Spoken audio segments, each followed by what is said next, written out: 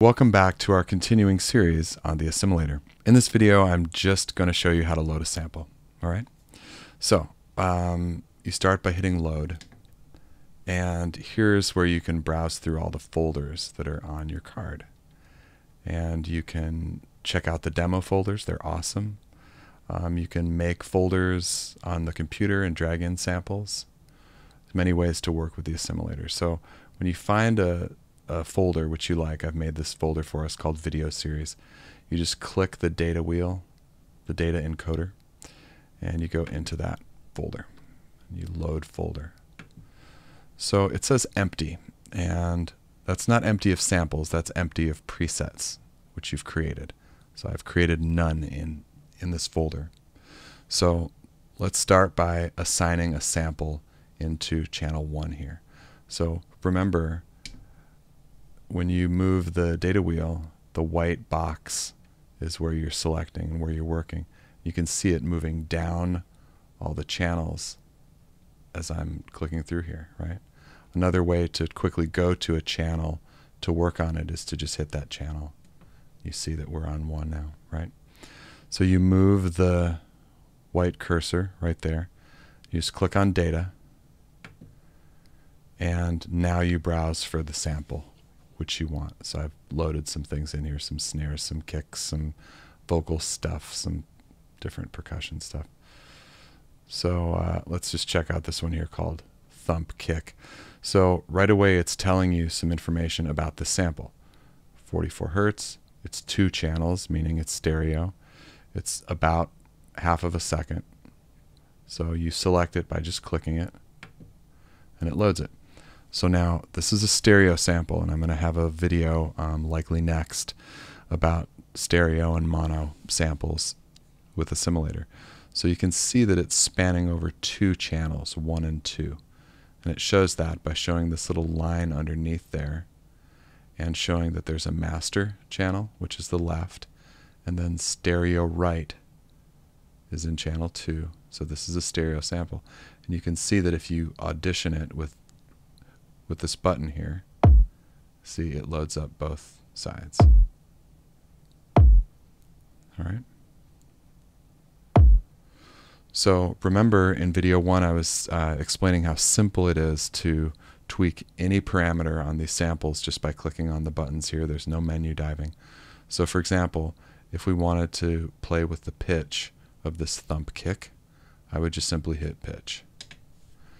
And again, click to select, right? You go to where you want, you just click to select, and we can pitch this up or down. So here's our kick.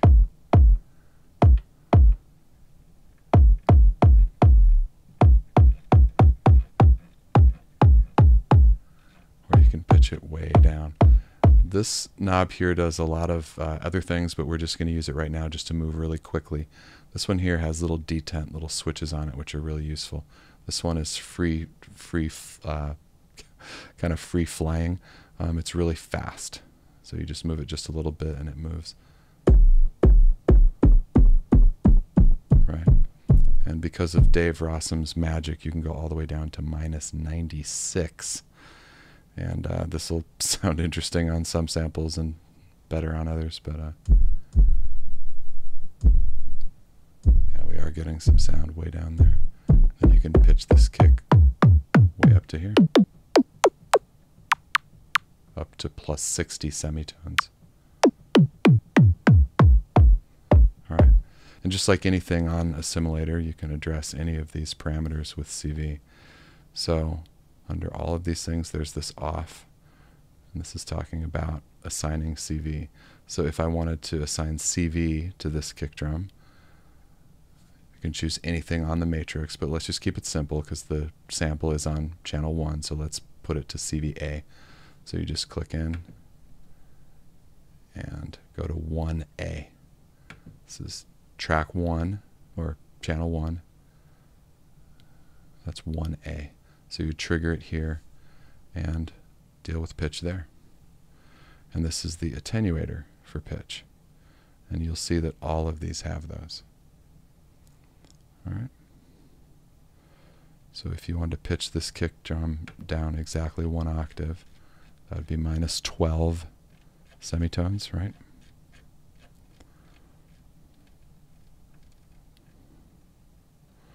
All right, so there's our kick drum one octave down. Now that's not super exciting on a kick drum, so let's change this sample. So I'll go to, um, actually let's let's return it to zero for this example. I have a vocal sample that'll be a little bit funner to pitch than a kick drum. All right, so we're back to zero. So to switch the sample out, I'm going to go to channels and I'm going to click on the sample. I'm going to browse through my samples on this folder and I forget what this thing was called. There it is. Scat vocal. All right, another stereo sample.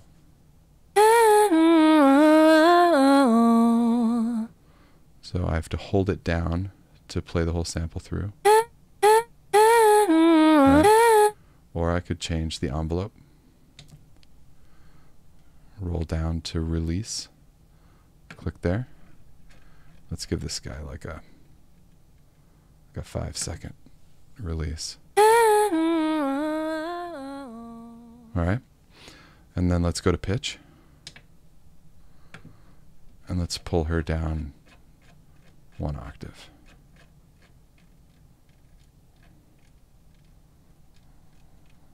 That's close enough. you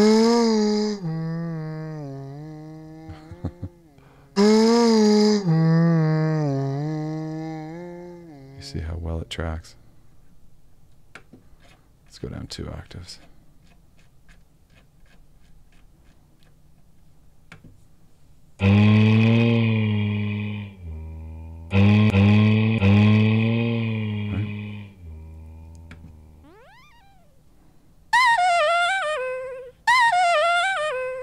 All right.